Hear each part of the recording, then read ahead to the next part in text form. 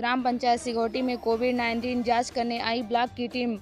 बांदा ज़िले के नरैनी तहसील के ग्राम पंचायत सिगोटी में कोविड 19 जाँच करने आई ब्लॉक की team.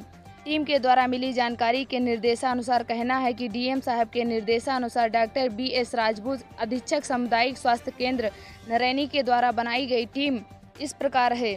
Doctor Dipendra Mishra, BMP Covid 19 प्रभारी, CHC Naraini doctor Kuber Singh LT प्रभारी doctor Shivmohan L A ASHA बहु सुनैना देवी एवं चौकीदार दीपक के साथ आई ब्लॉक की टीम सुबह 10 बजे से शाम 4 बजे तक मिली।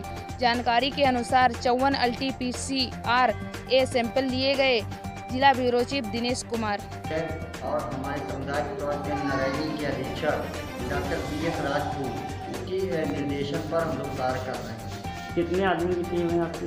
यहाँ पर हमको प्रतिदिन का जो टारगेट दिया गया है जिसमें से हमको दो सौ करने हैं जिसमें से हमको सौ R T P C R सौ एंटीजन और इसका ये भी नहीं कि सौ जितने भी पब्लिक आ जाएँगे हम सब का करते हैं अभी फ़िलहाल टाइम पर हमारे चौवन R T P C R हो चुकी है। आप कितने बजे से ये शुरू करते हैं? जाँच और कितने बजे तक? ये लोग हम हम लोग यहाँ पर दस बजे आते हैं और यहाँ पर पाँच बजे तक रहेंगे पाँच बजे के बाद भी जब तक पब्लिक रहेगी जब तक हमारा काम